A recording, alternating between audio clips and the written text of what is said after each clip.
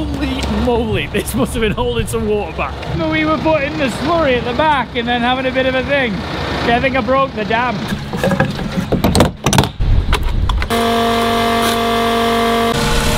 Good morning everyone. If you have not already, don't forget to hit the subscribe button, ring the little bell, you get notifications of my videos. This guy, every Tuesday, Friday, and sometimes we do the Sunday video. Oh, we got a big day today. We have Hurlimann number one, Hurlimann number two, and dirt. So we're getting muck spraying today. We're gonna get two sprays from our friends from Sanderson. It's just gone half seven this morning.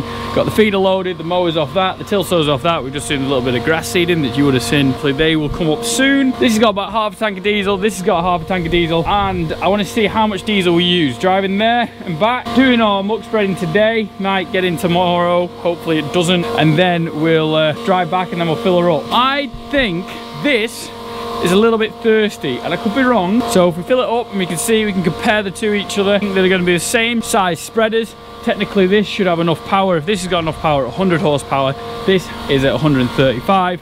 This should absolutely dream it, so it should use less. But let's see how much horsepower it does use. I know for one thing, 10 times easier to take the mower off. Oh, she's full. It was 10 times easier taking the mower off this because of the hooks on the back. The arms on the back have hooks on, which is just an absolute dream. But the Hurlimann that we have, balls on them, so you need to get the balls completely right and get it through like that. But the pickup, um, the hooks are so much easier. All you gotta do is get it under, hook it on, and you're way to go. It's a pain in the ass. Oh, Dad's growing a bit of grass seeds here. Some grass seeds that got left in the till sower and started to germinate. This is gonna be a big test for our Hurlimann, see how she gets on. First probably big test when we did the size carting, it was just comfy, it was nice. The lads were talking to butt rake man, uh, John, he was talking, it was nippy little track because I could go around in one. In this short wheelbase, four cylinder Hurlimann, absolute dream. I only struggled a little bit when I did the bad driving. But yeah, right, them both filled up. Oh, there we go. Let's go get some spreaders. Be interesting as well to see how much quicker, obviously Dad's following me in our Hurlimann, how much quicker this Hurlimann is into that one, because that only does 40k, well just about 39.3. This is 50k, which actually means it is about 52.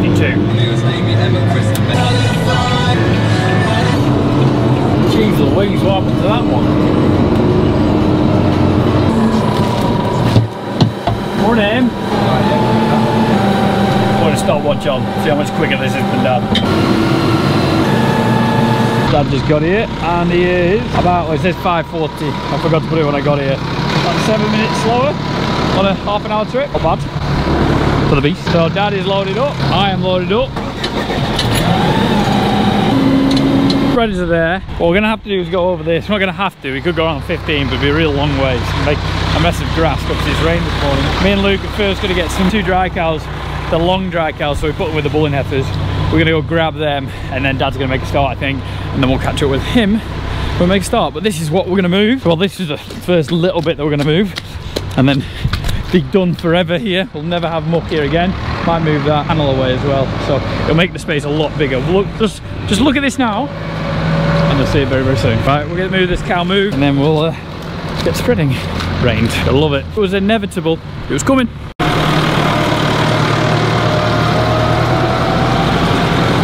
Father's just taking the first load. We got the dry cows from over the road, two dry cows, and then found an in-calf heifer as well that was bagging up, so I thought I'll grab that as well. And now we just need to do the three cows into the dry cows, and then we're done. And I can actually go muck spreading. Problem about doing on a Monday, because you always have those Monday jobs. It's 20 to 11. 20 to 11. I've not spread a load yet. Yes. Ah, ah, ah. No, wait. We did want to go through the dry cow spot, but looks like they're going on the new concrete instead.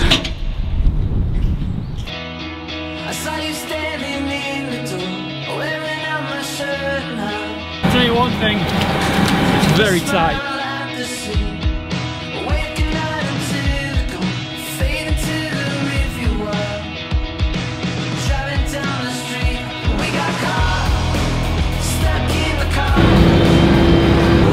Grass is growing nicely in here. I'm not gonna get drawn out for a bit. I'm just gonna kind of crack on, get some spreading done, just because we want to kind of get on a little bit is the plan.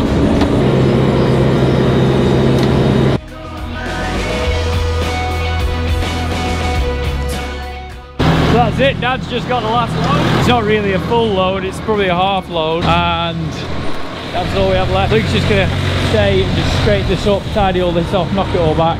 And then we'll have a happy Luke because all the muck will be gone. And a happy Tom. Because A, you get more collecting yard space, you're not fighting through muck all the time. Especially we've missed a little bit don't tell anyone and then what we'll end up doing is dragging it all the way down there across the yard and chucking it in here again the reason we've not just put on the wall yet is we've got probably about a third of the wall sealant to use we're gonna have a session of that as well and spray that back up And off loud. Something else Radio 1 is absolute pants now. Apart from Greg James in the morning. The music is just rubbish. But anyway, done probably four and a half loads. No, I know I'm driving over the grass. Don't tell Dad.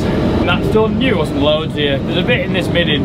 If we get to it later on, we can. But the midding's so big, it'll hold a year's muck. I'm not too stressed about that. I just want to get rid of the stuff that here because there's a lot of stuff that needs mucking out around here.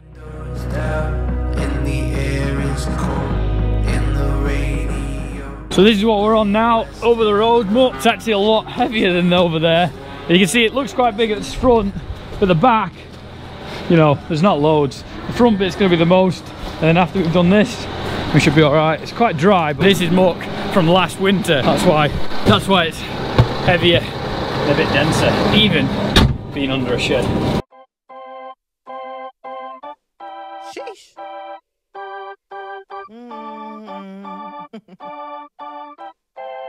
Girl, I'm about to have a panic attack. I did the work, it didn't work. Ah, ah, that truth, it hurts. That damn, it hurts. Ah, that lovey-dovey shit was not a fan of it. I'm good with my friends. I don't want a man, girl. I'm in my bed. I'm way too fine to be here alone. On other hand, I know my worth. And now he calling me. Why do I feel like this? What's happened to me? Oh,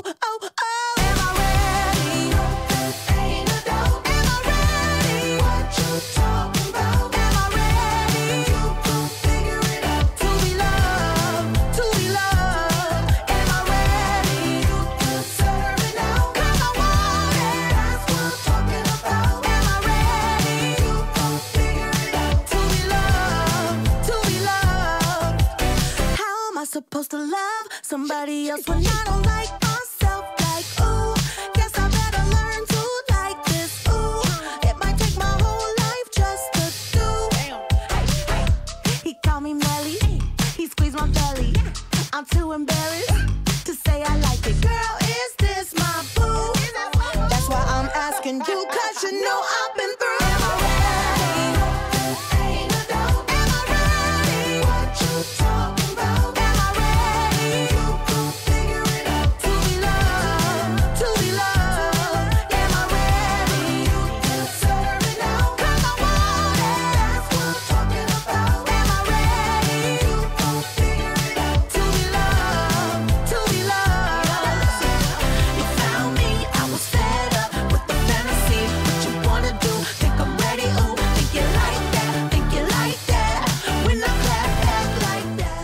So just off for a bit of lunch. Dad and his Hurlimann, me and mine, it's not mine. That's why we did another load just over there on the way back, might as well. Look well together though, don't they? Double Hurlimann! Is there anything more exciting? I had a hot beef sandwich, came to the farm shop and they just made them out of the oven. The, the beef was like steaming. It was, oh, so good. And I had a bit of flapjack as well. It's great. There's a one good thing about having a farm shop next door, like your lunches are amazing. Bad thing is, you gain more chins over time. I know it's happening, and I know I need to kind of train a little bit. We'll keep up with weddings as well. Keep having beers and drink. This, by the way, is doing really, really well. Seems to be pulling like an absolute train. Like, box muck is heavy. Silage is obviously heavy, but it's not, I don't know. It can be fluffier, it can be wetter but box muck is heavy, heavy stuff and muck spreaders aren't the best thing to tow around because there's a lot of weight at the back where the augers are so it's always pulling it up like that. But it seems to be doing, coping with it no bother, 35k, 40k, 50k, bossing it, someone's bull in there. So I've not really explained what box muck is. Kind of says it in the name really. Box muck is thicker muck. Obviously we have slurry that goes in channels and at home we have the big tower. But box muck is your midden muck. We call it midden muck at home, really, and we'd call this the midden. And it's thick and it's dense.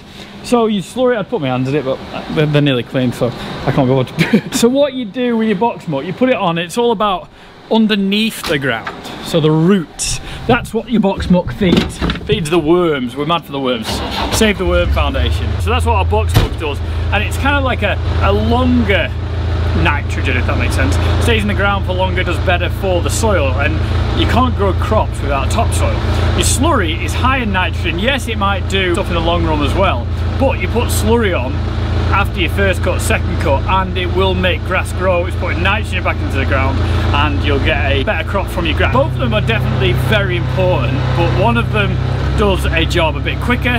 The second one, the box muck, like this, takes a little bit longer to kind of soak in and go in. We normally spread ours in spring and in autumn. When we've done all our cut of grasses in autumn or in spring, we've got lots of box muck, we try and get it on at the latest April to then chop end of May June really. You know that's our plan. I don't want to chop too close to spreading box muck because it can stay in the ground sometimes and it goes back into your grass. And then when you sample your grass you get high ash content. High ash content means you've got muck in it. So it's a kind of fine balancing act but us spreading it now will go into the ground. It will make sure the ground has great fertility. If it does flood it won't help. I have heard that people are trying to ban them from spreading muck in autumn because they think it just washes down the drain. but think it's a bit daft. Personally, I think if you spread it in the wrong places and the wrong time, it can cause a little bit of damage, but this on flat ground, going into the soil, making sure the grass is good, going into winter, put a bit of sheep on, move the muck around, bang on for the next year in spring. It's all a cycle, it's a cycle of life, how to improve your grassland and how to improve your soil because let's be honest, doesn't matter what you're growing, grass, grapes, oranges, grain, anything of those things, if you don't have topsoil, you don't have a crop. Right, let's get muck spreading.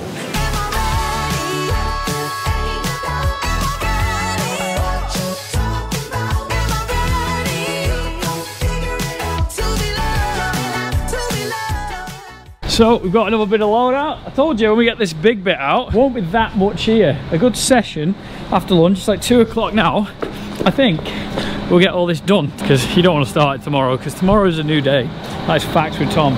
Spread is full enough. We don't like to get mega full because try and keep the spreader quite clean. It saves the washing on it. Obviously we're gonna have to wash it. It saves washing it too much. That wasn't me, that was dad by the way. He spilled that. Blame the ginger guy look at that. So I do remember instead of putting the slurry in there because it was getting quite thick, we were getting the bucket and just tipping it over and that's what it'll be. Just flooding over. Look it's raining, it'll wash my tyres away.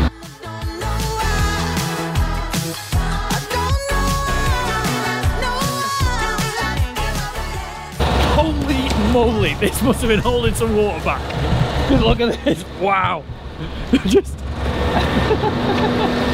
wow an absolute flood of water is coming.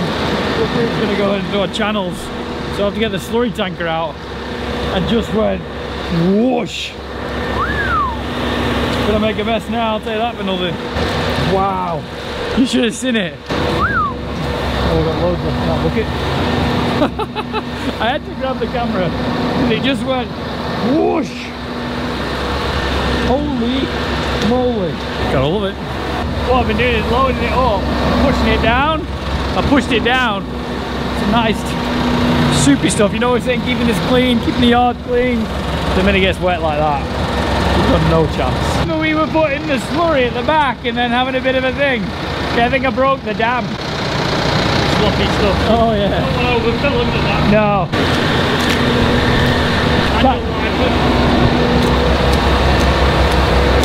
The importance of having slats in front of that. The true test. Can he do it? It's a big test right there. Be tight. Ah! Beacons. Beacons. Good little short wheelbase tractor, that's what you want in life. Hopefully I've not got slurry spitting everywhere. Do not want that. God, things just got exciting, didn't it? That slurry when it was coming, I was thinking, oh my god, I hope those channels work. You know, because they haven't been used for a while. Sometimes they can dry up. Imagine it started overflowing and going into Tom's yard. I'd be in trouble then. Hopefully she spreads well. I would get drone up to see, but rain and kit and you know what it's like. Because we have our nice little bit of slurry coming out of the bidding over there, we're just going to let it run out, which makes sense. They've got horses here as well, so they need this cleaning up. And whilst we're here, we've got two muck spreaders, probably three or four spreader loads. Get this done because might as well do it because we're spreading the field that's just there. And then if we do have something left over, we run out of field, we're going the long one.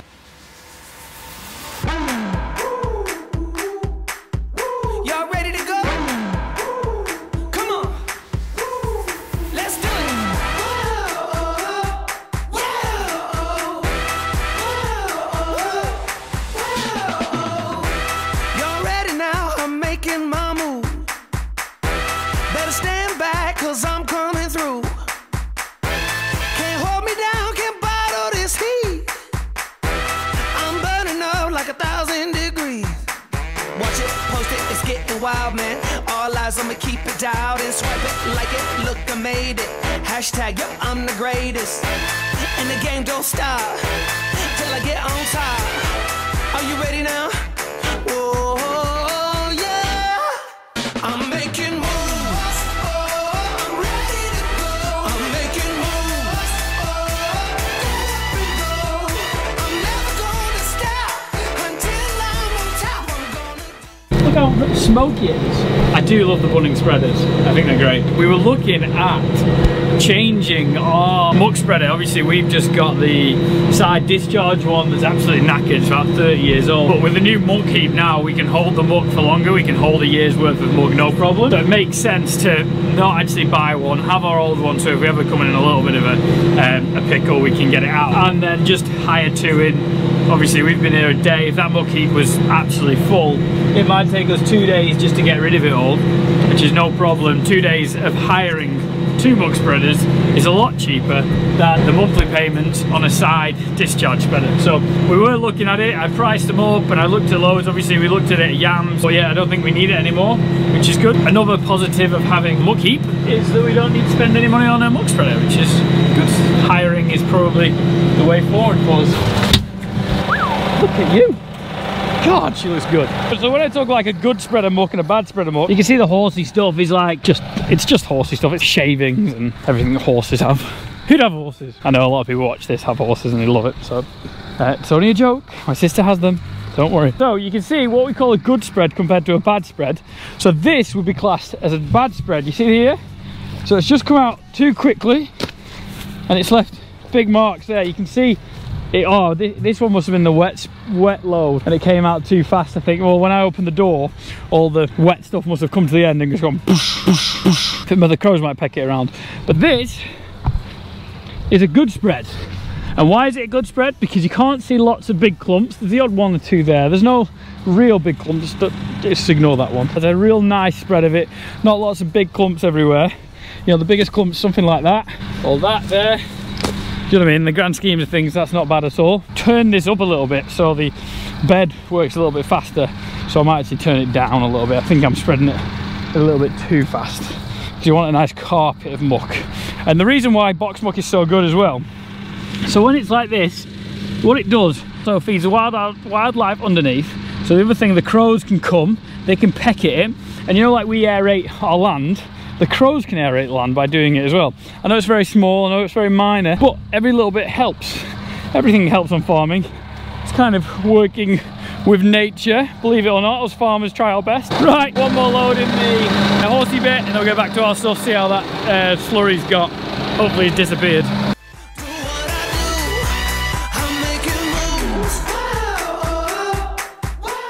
So we're pretty much done. Dad's got a full-ish load there and then there's a little bit left that I'm going to put in my spreader. And I can use that in the morning, just clean up at home, the silo, rubbish, whatever you works it, and then wash that off and that can go back. When you do take it back, ask Sandys if you got a sword lifter. Put it on back of that. Happy with much spreading? Very good. Amazed me how much we've shifted today, quietly. Uh, but Because we didn't really get going, did we, this no, no, morning? no. Been a lot of muck here, be good muck. There's nothing Good else. muck, innit? When you leave it for a long time, It rocks down, Lot there's less better. of it. And it's there, it's already started, it's it's processed. the difference between that and the horsey muck, I know it's Oh. horse muck, but that's solid. Oh, Do you know what I mean? Every, you're shifting three times as much with a Well, load, yeah, yeah. you, know? But there's nothing in horse muck. See how the field's growing now. Yeah, yeah, it's the- it. Oh, all that grass we stitched in. You can see that I, what I was doing. I was starting my rotor, putting my Yeah. gate, then starting. Yeah. You can see the first sloppy load, Oh, couldn't yeah, you? oh, yeah. I didn't realise how sloppy it was. That's right. Stood the load, it went whoosh. Yeah, oh, yeah. Made a bit of a mess. Nearly swilled out. Yeah, the tractor's done well though. Uh, you Little know, Hurlimann. I mean, we, ought to do a fuel up when we get back in Oh, we need to do a fuel up. You put, see how many litres put in this, and you just it till it blows off, did you? Yeah, that was full though. That was full full. That was pretty much front to blow. We'll find out what uses more diesel. What do you think? Mine's bossy, by the way. Boss the day. Oh, bossy. Yeah, it, it felt like nothing was on the back for time. Well, this hasn't really bothered. I mean, pulling around in first high, it's not been wet, ground conditions are good. Sled spreaders have been full, good spreaders. Good spreaders. bunning spreaders. We're mad for a bunning spreader. Oh, well, I know the K2s are good, one of you Yeah.